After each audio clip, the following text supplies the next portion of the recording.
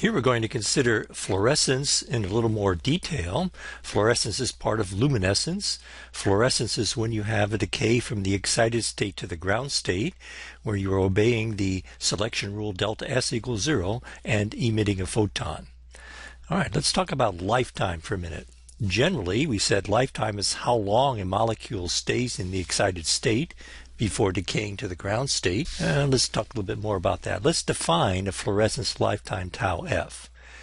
Now, I'm going to use some kinetics concepts. We haven't talked about kinetics yet, but I'll go ahead maybe draw on your experience in introductory chemistry for kinetics. I'm going to say this is the rate constant for non-radiative decay plus the rate constant for fluorescence. And what do we mean by these rate constants? Well, just let's consider fluorescence. And here we have a molecule going up in the excited state.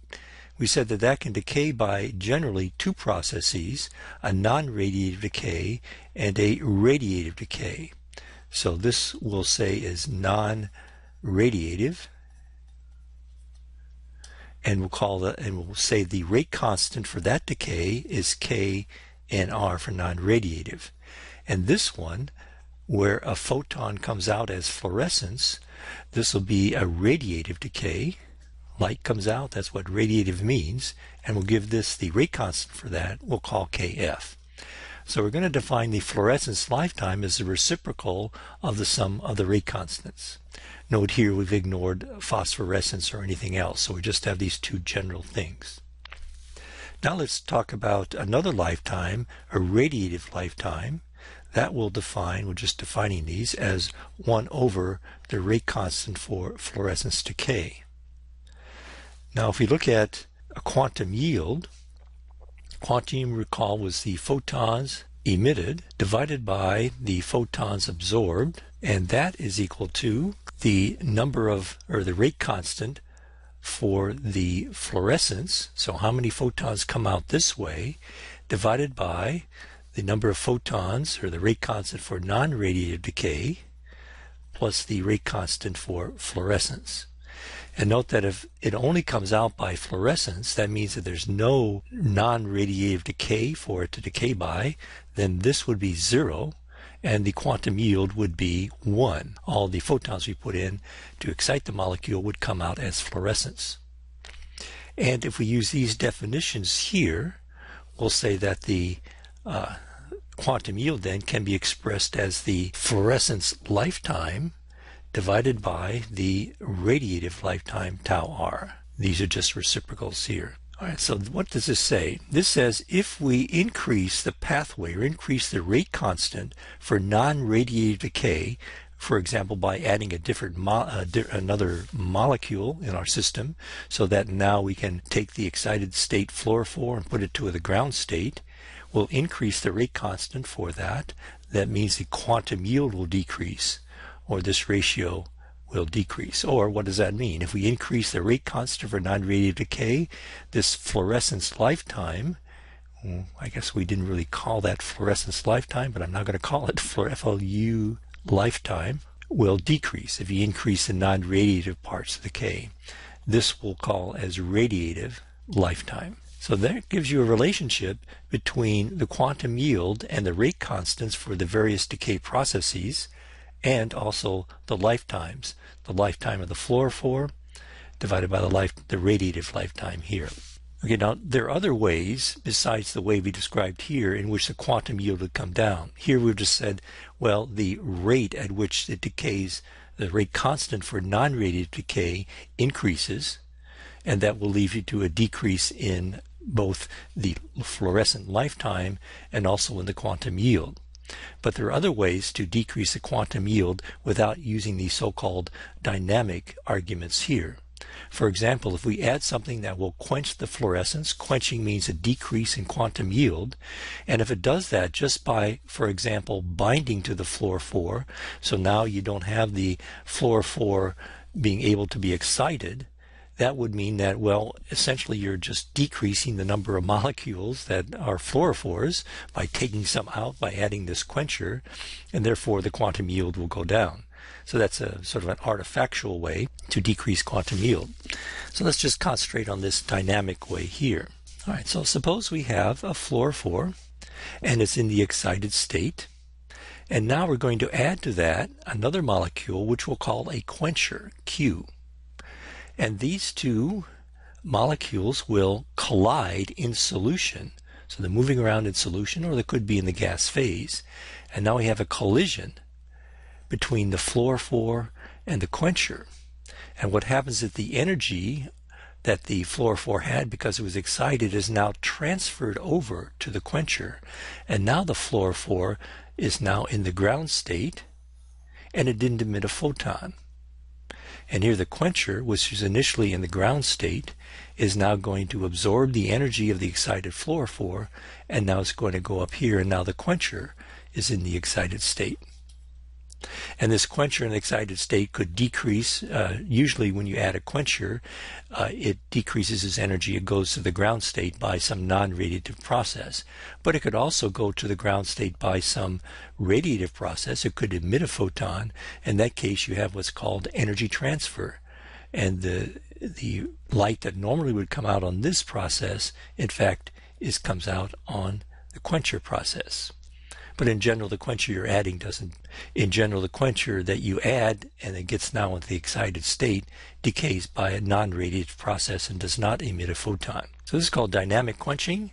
And uh, maybe you can see this will increase the rate constant for non-radiative decay. Here there's no photon, no photon coming out, which means the non-radiative rate constant has increased, which means the quantum yield has decreased, which means the fluorescence lifetime has also decreased. So that's a little bit about lifetime and quenching, and also quantum yield and lifetime give information about the motion and the environment of the fluorophore.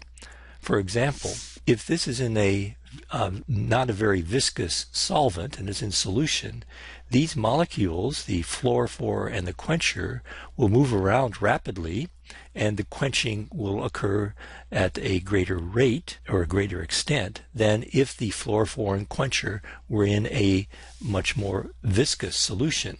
So by measuring the concentration dependence of the quencher, uh, concentration dependence of the decrease in quantum yield or the decrease in lifetime as a function of the concentration of the quencher, one can determine how fast these things are moving around, or if you know how fast they're moving around, you could determine something about the viscosity of the medium by which they're moving around. And the same thing for quantum yield if you have dynamic quenching. Let's take another example. Let's look at, oh, say here we have the ground state, and here we have an excited state.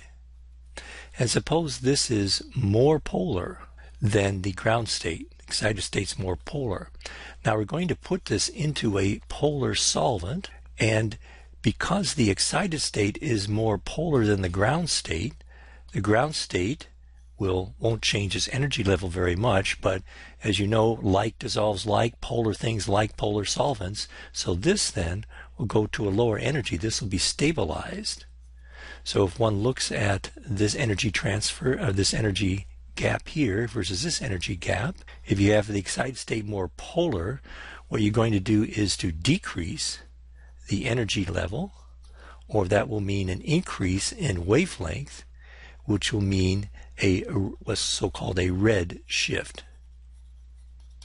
So if one looks at the emission spectrum, intensity versus wavelength, if this is the this is polar solvent, so this would be non-polar solvent, what you'll get is a shift to lower energies. Remember, lower energies is higher wavelength. This is red over here, and this is blue here. This would be the polar solvent. Now let's consider the opposite case. Here's our ground state, and here's our excited state. And let's make the ground state here more polar. Now, when we put this into a polar solvent, the excited state, not um, not very polar, so or less polar than the ground state, so it's not going to change energy much. On the other hand, you're going to have a lowering of the energy because here we're putting in a putting in a polar solvent. So the more polar ground state will interact more favorably with the polar solvent and decrease its energy. So now if we look here, compare that energy gap with this energy gap, we have an increase in energy, which will be a decrease in wavelength, which will be a blue shift. In other words, if we look at the spectrum, here's the intensity versus, again, we're doing wavelength because this is electronic spectroscopy. So here's the emission spectrum. This is a not polar solvent. If we now change it to a polar solvent, what we get is a shift to the higher energy or a blue shift here. So by just changing the polarity of the solvent and looking at the emission spectrum and seeing which way it moves, you could say something about whether the ground state or excited state is more polar. And uh, one final thing about fluorescence spectroscopy. This was an emission spectrum and this was an emission spectrum, but really what you can do is look at both an excitation spectrum and an emission spectrum. So let's just do that. Here's the wavelength, here's the intensity. And now what we're going to do is to just use a spectrometer and fix our fix the light. Well, let's get a little technical here. So here you have a monochromator and lights going in this way. And here coming out here you have a monochromator and now your detector is here. And this is your sample. So what we can do is vary the wavelength of light that goes into the sample and now the sample is going to fluoresce, light's going to come out, and we can look at the spectrum of the emitted light here by adjusting this monochromator. So for an emission spectrum, or let's do an excitation first. For excitation, we'll fix this lambda, this wavelength here. We'll look at a particular wavelength of light coming out, and here will vary for excitation.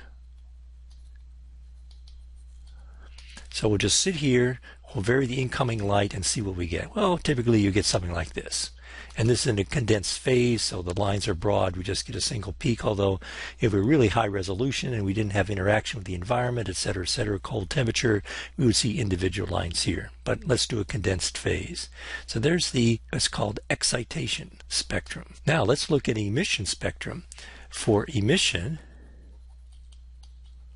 we'll fix the excitation monochromator, and for emission, we'll vary the wavelength here.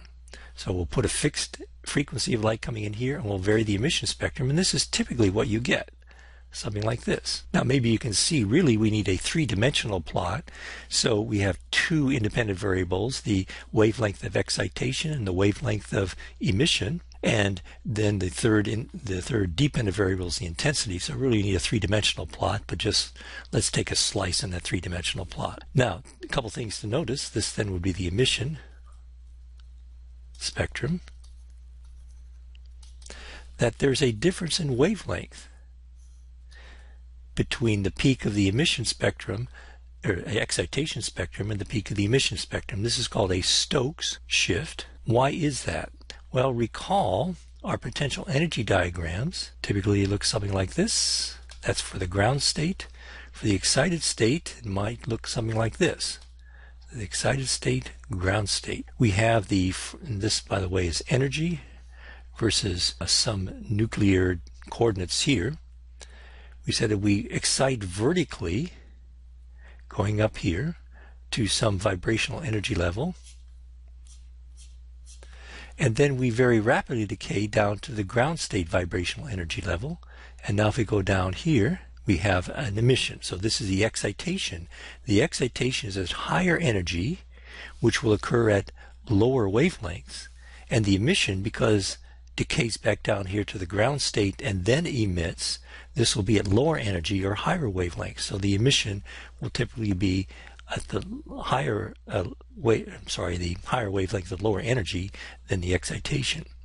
Secondly, for a lot of fluorophores, you have a mirror image, and that can be also explained by this. And what you get is a spectrum of the various energy levels going exciting, And then you get sort of the reverse. Now we're going out here and looking at the spectrum of the emitting.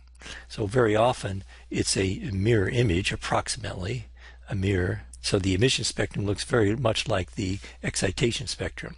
And if they look very different, what that means is there's probably some sort of excited state rearrangement excited state rea reaction going on. All right, so that's a very brief overview of fluorescence. It's a very useful technique in chemistry. A lot of people use it. Oh, one final point is that you know chemists deal with molecules, and the holy grail of a lot of chemists is to actually look at individual molecules. Well, you can do that with fluorescence. The reason is that the current state of the art of fluorescence detection is you can uh, detect individual molecules. There's a single molecule you can detect. Here's an example of how to do that. It's a little old, but and there's better techniques. But this is a protein here. This protein is called aquaporin, which sits in biological membranes and forms a pore by which water can go in and out. What we've done here is to put a quantum dot attached by molecular biology to this particular protein, which is now sitting in the membrane. This protein will diffuse two-dimensionally in the membrane, and what you can do is use fluorescence spectroscopy to indiv follow individual protein molecules. This is a quantum dot. This is what's fluorescing. So there's a particular trajectory for a one molecule. Here's another one. There's another molecule, and the different colors just represent different protein molecules diffusing on the surface of this membrane. And this can be then used to determine the type of motion using is it Brownian motion or is it uh, not Brownian motion and so on. But the point is Oh, we can detect individual molecules. That's the holy grail of chemists. Okay, that's it for fluorescence spectroscopy.